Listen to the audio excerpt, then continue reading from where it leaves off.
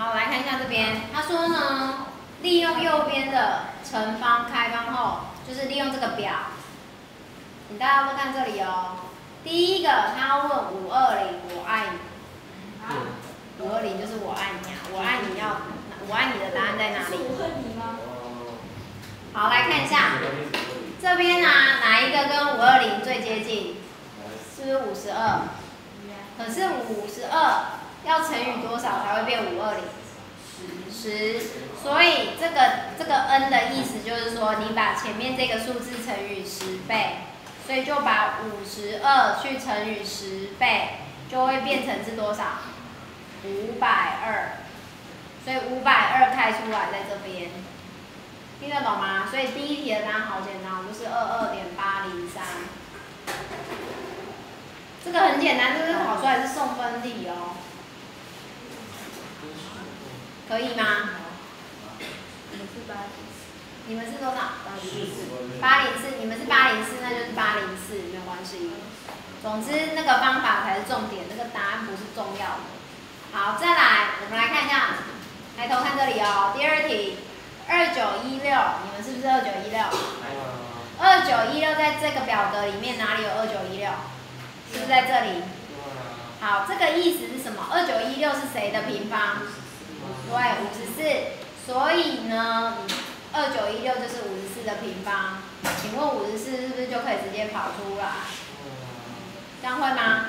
好，再来第三题。三零二五是谁的？谁在哪里？在这个表的哪里？五十五的平方。所以是不是三零二五是不是五十五的平方？不可以。好，再来，七点二八零在哪里呀？七点二八零是在这边。好，这个代表的意思是，这个代表的意思是什么？它是不是要把五十三丢到根号里面？所以七点二八零就代表根号五十三，然后它又要平方，可不可以？好，最后再加上根号五十四，哎，根号五十四在哪里？五十四丢到根号里面，是不是对下来的是这一个七点三四八？所以最后呢，你看哦，五十五可以跑出来，五十三可以跑出来，最后再加上七点三四八，你们自己去加，好吗？一百二十三，一百二十三十四，一百二十点三十四，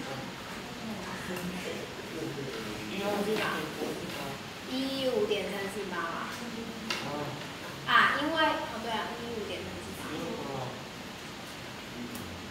哎，好，一四一六，可以吗？好，